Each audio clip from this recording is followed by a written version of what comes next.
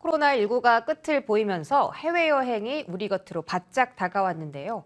이 늘어나는 여행객을 맞이하기 위해 인천공항의 면세점들도 3년간의 침체를 딛고 새 단장에 나서고 있습니다.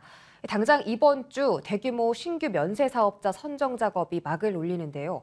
임대료 등 입찰 조건에 따라 흥행이 좌우될 것으로 보입니다. 최보윤 기자입니다.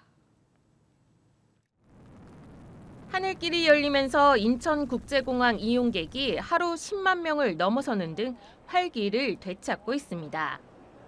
아직 코로나19 이전의 절반 수준에 그치지만 새해 들어 중국의 방역 조치가 완화되면 국제선 수요가 빠르게 회복될 것으로 전망됩니다.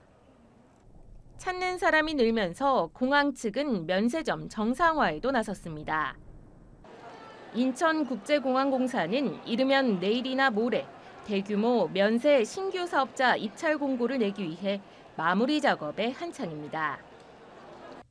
코로나19 여파로 2020년 세 번의 유찰 끝에 새 주인을 찾지 못했던 1터미널 내 매장 9곳과 내년 1월 계약이 만료되는 2터미널의 매장 6곳 등 15개 매장이 대상입니다.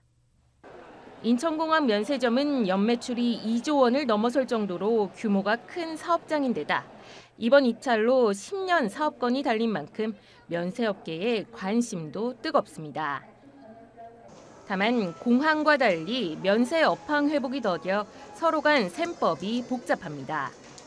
반대로 옛날 때처럼 그냥 상식선만 갖고 적자 감내하고 할 수도 없고 다양한 고민 속에서 어떤 업황이라든가 어떤 임대료 산정 방식이라든가 또 구역 내가 어느 구역을 가져갈 것이냐 가장 관건은 임대료인데 업계 바람대로 매출액 연동 임대료 산정 방식이 적용될 수 있을지 관심입니다. 공항 측 역시 고정 임대료를 적용하더라도 여객 수에 따라 다양한 조건을 두고 산정하는 방식을 고심 중에 있습니다. 하지만 코로나19 임대료 감면 정책이 이달 말 종료될 예정인데다 고환율, 고물가 여파가 이어지고 있다는 점도 면세업계의 부담 요인으로 작용하고 있어 이번 입찰이 흥행으로 이어질 수 있을지 지켜볼 대목입니다. 머니투데이 방송 최보윤입니다.